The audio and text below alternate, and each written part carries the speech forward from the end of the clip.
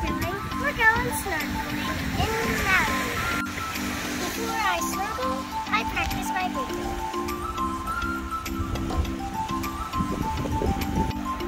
Like normal, put on your mask.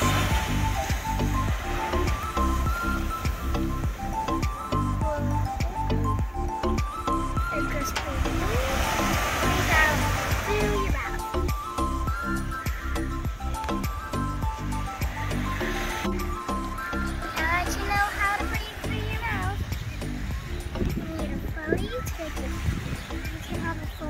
make you feel more comfortable.